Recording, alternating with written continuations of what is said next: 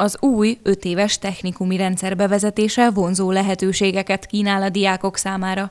Öt év alatt érettségit és olyan szakmát szerezhetnek meg, amiben könnyen el tudnak helyezkedni.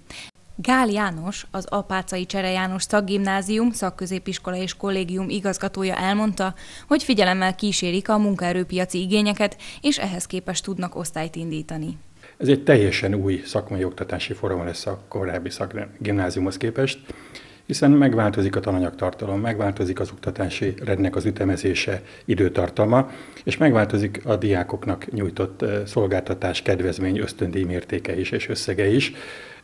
Gondolom, hogy ennek az új információknak köszönhetően megnőtt a jelentkezők száma iskolánkba, és a korábbi osztályokhoz képest plusz egy osztályt tudtunk indítani a hozzánk felvett diákokból.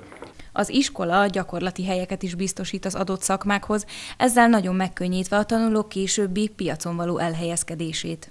Az Eszterházi Miklós szakképző iskolában a rengeteg szakképzés mellett megújul a felnőtt képzés is az idén, ami egy új kihívást jelent a pedagógusoknak.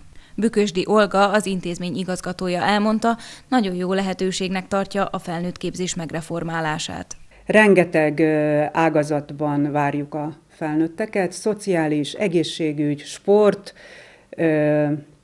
az autószerelőket is várjuk, akiket most per pillanat azért úgy hívunk, hogy gépjármű mechatronikai technikus, erre mindenkinek fölhívnám a figyelmét.